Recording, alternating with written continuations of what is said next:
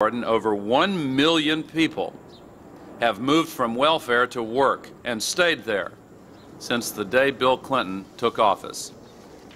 Now it's my pleasure to introduce one woman who has made this transition from dependence to dignity, from welfare to work. Ladies and gentlemen, join me in welcoming Lillie Harden.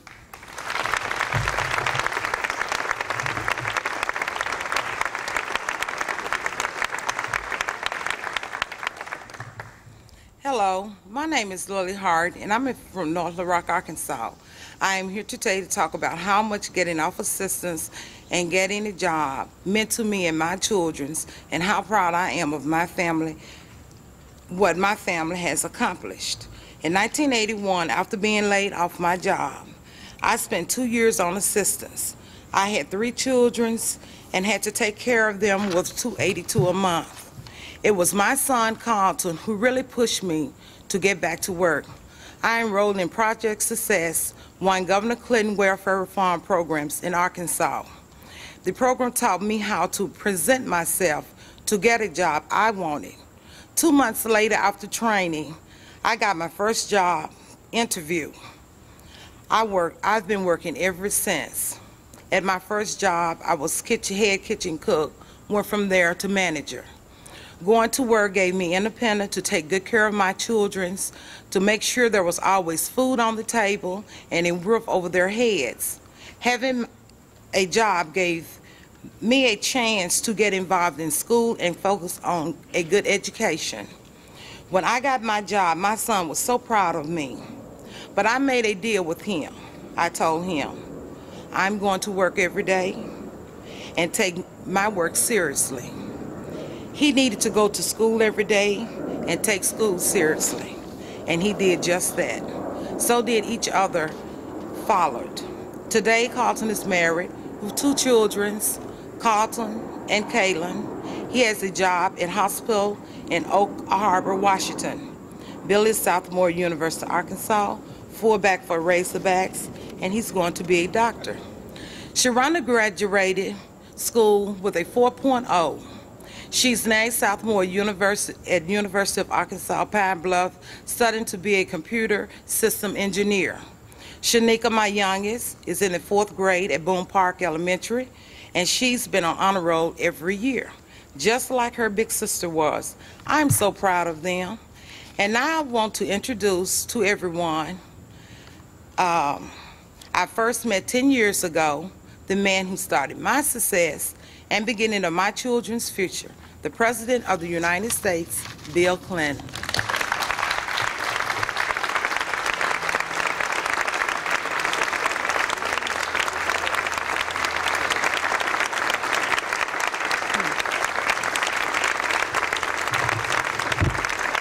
Thank you very much.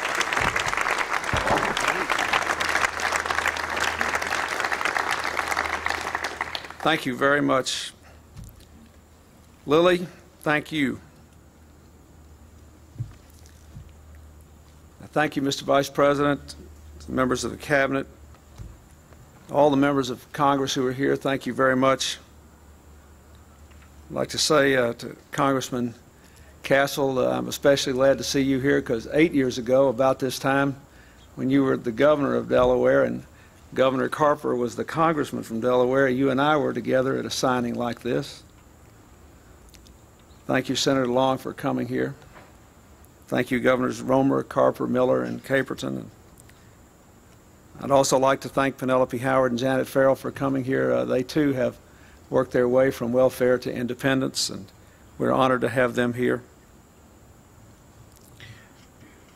I'd like to thank all the people who worked on this bill uh, who have been introduced uh, from our staff and cabinet, but I'd also like to especially thank uh, Bruce Reed, who did a lot to do with working on the final uh, compromises of this bill. I thank him. Uh, Lillie Harden was up there talking, and I, I want to tell you how she happens to be here today. Uh, ten years ago, uh, Governor Castle and I were asked to co-chair a governor's uh, task force on welfare reform. And we were asked to work together on it, and uh, when we met at Hilton Head in South Carolina, we had a little panel, and 41 governors showed up to listen to people who were on welfare from several states. So I asked Carol Rasco to find me somebody from our state who had been in one of our welfare reform programs and had gone to work. And she found Lillie Harden, and Lillie showed up at the program. And I was conducting this meeting, and I, com- I committed a, a mistake that they always tell lawyers never to do. Never ask a question you do not know the answer to. But she was doing so well talking about it, as you saw how well spoken she was today. And I said, Lillie, what's the best thing about being off welfare? And she looked me straight in the eye and said, when my boy goes to school and they say, What does your mama do for a living? he can give an answer. I have never forgotten that. And uh, and when I saw the success of all of her children and the, the success that she's had in the past 10 years, I can tell you uh, you've had a bigger impact on me than I've had on you. And I thank you for the power of your example for your families and for all of America. Thank you very much.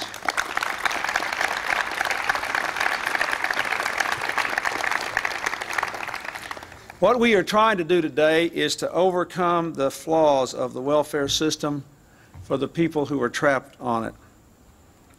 We all know that the typical family on welfare today is very different from the one that welfare was designed to deal with 60 years ago. We all know that there are a lot of good people on welfare who just get off of it in the ordinary course of business, but that a significant number of people are trapped on welfare for a very long time exiling them from the entire community of work that gives structure to our lives. Nearly 30 years ago, Robert Kennedy said, Work is the meaning of what this country is all about. We need it as individuals, we need to sense it in our fellow citizens, and we need it as a society and as a people. He was right then, and it's right now. From now on, our nation's answer to this great social challenge will no longer be a never ending cycle of welfare. It will be the dignity, the power, and the ethic of work. Today, we are taking an historic chance to make welfare what it was meant to be a second chance, not a way of life. The bill I am about to sign, as I have said many times, is far from perfect, but it has come a very long way. Congress sent me two previous bills that I strongly believe failed to protect our children and did too little to move people from welfare to work. I vetoed both of them. This bill had broad bipartisan support and is much, much better on both counts. The new bill restores America's basic bargain of providing opportunity and demanding in return responsibility. It provides $14 billion for child care, $4 billion more than the present law does. It is good because without the assurance of child care, it's all but impossible for a mother with young children to go to work. It requires states to maintain their own spending on welfare reform and gives them powerful performance incentives to place more people on welfare in jobs. It gives states the capacity to create jobs by taking money now used for welfare checks and giving it to employers as subsidies, as incentives to hire people. This bill will help people to go to work so they can stop drawing a welfare check and start drawing a paycheck. It's also better for children. It preserves the national safety net of food stamps and school lunches. It drops the deep cuts and the devastating changes in child protection, adoption, and help for disabled children. It preserves the national guarantee of health care for poor children, the disabled, the elderly, and people on welfare, the most important preservation of all. It includes the tough child support enforcement measures that, as far as I know, every member of Congress and everybody in the administration and every thinking person in the country has supported for more than two years now. It's the most sweeping crackdown on deadbeat parents in history. We have succeeded in increasing child support collection 40 percent, but over a third of the cases involved where there's delinquencies involve people who cross state lines. For a lot of women and children, the only reason they're on welfare today, the only reason, is that the father up and walked away when he could have made a contribution to the welfare of the children. That is wrong. If every parent paid the child support that he or she owes legally today, we could move 800,000 women and children off welfare immediately. With this bill, we say if you don't pay the child support you owe, we'll garnish your wages, take away your driver's license, track you across state lines, if necessary, make you work off what you pay, what you owe. It is a good thing, and it will help dramatically to reduce welfare, increase independence, and reinforce parental responsibility.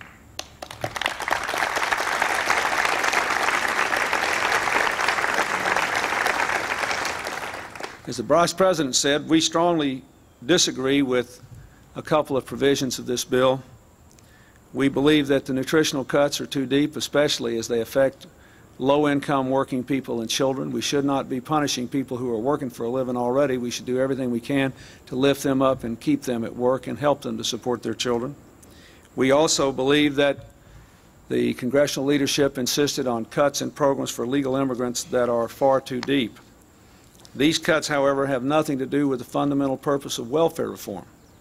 I signed this bill because this is a historic chance where Republicans and Democrats got together and said, we're going to take this historic chance to try to recreate the nation's social bargain with the poor. We're going to try to change the parameters of the debate. We're going to make it all new again and see if we can't create a system of incentives which reinforce work and family and independence we can change what is wrong. We should not have passed this historic opportunity to do what is right.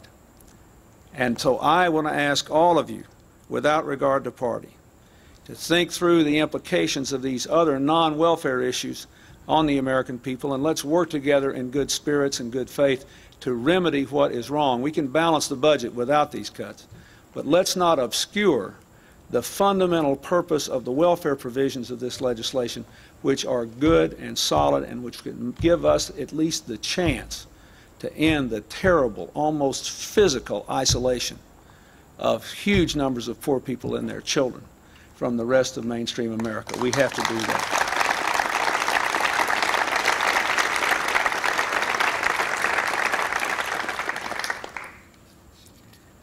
Let me also say that there's something really good about this legislation. When I sign it, we all have to start again. And this becomes everybody's responsibility. After I sign my name to this bill, welfare will no longer be a political issue. The two parties cannot attack each other over it. Politicians cannot attack poor people over it. There are no encrusted habits, systems, and failures that can be laid at the foot of someone else. We have to begin again. This is not the end of welfare reform. This is the beginning. And we have to all assume responsibility.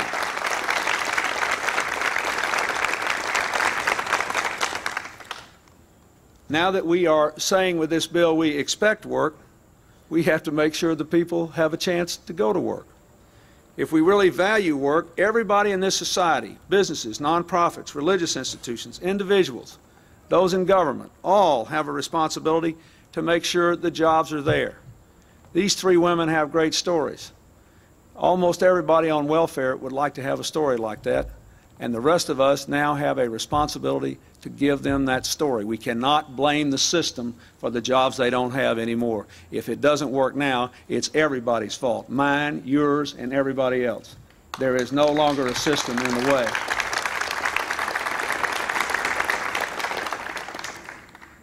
I've worked hard over the past four years to create jobs and to steer investment into places where there are large numbers of people on welfare because there's been no economic recovery.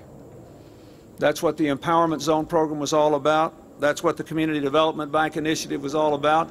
That's what our Urban Brownfield Cleanup Initiative was all about, trying to give people the means to make a living in areas that had been left behind. I think we have to do more here in Washington to do that, and I'll have more to say about that later. But let me say again, we have to build a new work and family system. And this is everybody's responsibility now.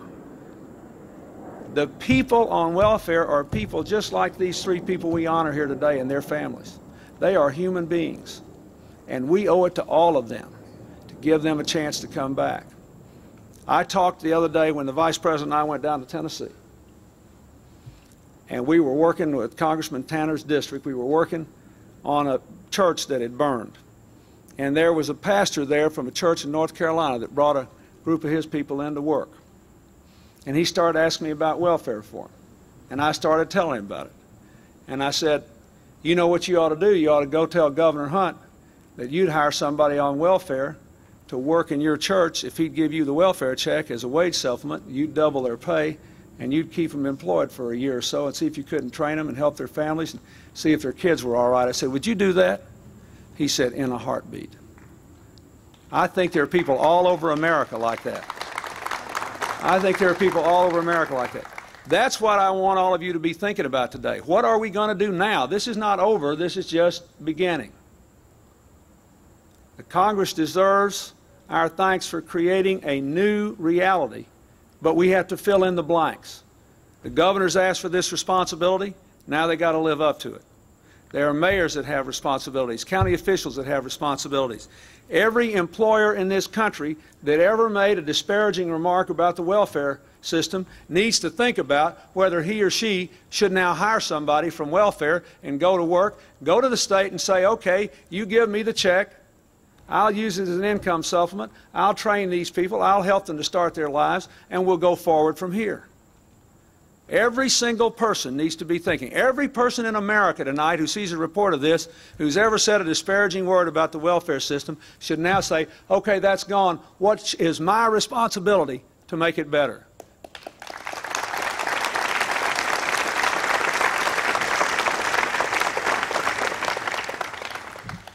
Two days ago, we signed a bill increasing the minimum wage here and making it easier for people in small businesses to get and keep pensions. Yesterday, we signed the Kassebaum Kennedy bill, which makes health care more available to up to 25 million Americans, many of them in lower income jobs where they're more vulnerable. The bill I'm signing today preserves the increases in the earned income tax credit for working families. It is now clearly better to go to work than to stay on welfare. Clearly better because of actions taken by the Congress in this session. It is clearly better. And what we have to do now is to make that work a reality. I've said this many times, but you know, most American families find that the greatest challenge of their lives is how to do a good job raising their kids and do a good job at work. Trying to balance work and family is the challenge that most Americans in the workplace face. Thankfully, that's the challenge Lillie Harden's had to face for the last 10 years. That's just what we want for everybody. We want at least the chance to strike the right balance for everybody. Today we are ending welfare as we know it. But I hope this day will be remembered not for what it ended, but for what it began. A new day that offers hope, honors responsibility, rewards work, and changes the terms of the debate so that no one in America ever feels again the need to criticize people who are poor on welfare, but instead feels the responsibility to reach out to men and women and children who are isolated, who need opportunity, and who are willing to assume responsibility and give them the opportunity and the terms of responsibility.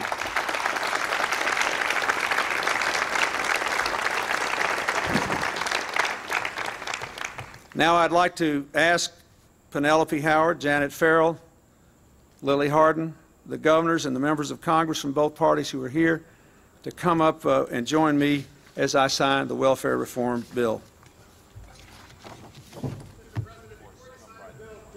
whether you think it's right to regulate the, uh, tobacco or nicotine as a drug?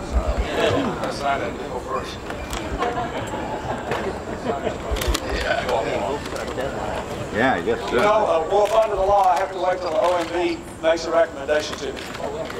I think we have to anticipate. I, I can't say more than that right now. He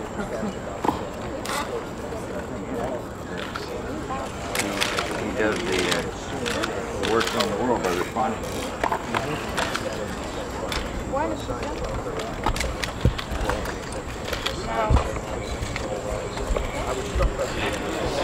I think we're in Louisiana. Someone from Louisiana saying, Clay Shaw brought us to Florida.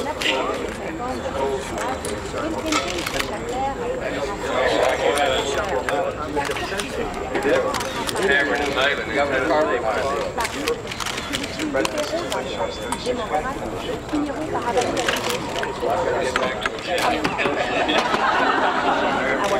It's gonna be a time.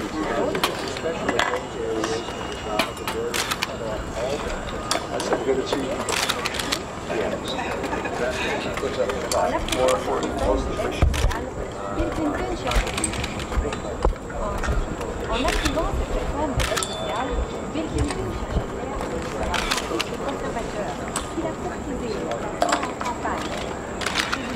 That's right, you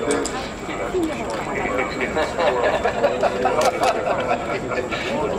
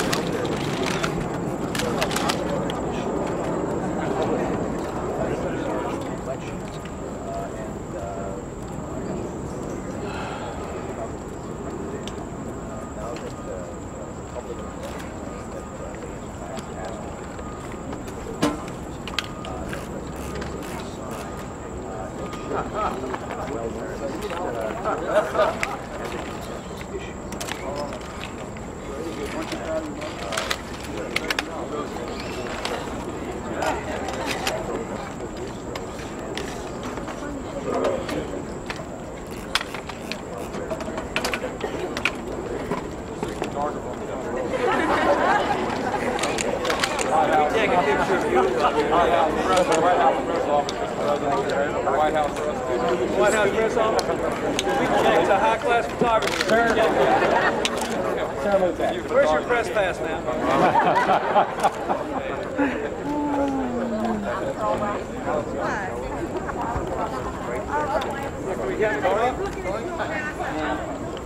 Ma'am, in the ma'am. Lady, can you get down, please?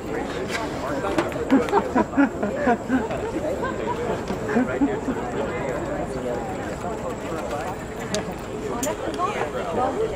again, trample the cat.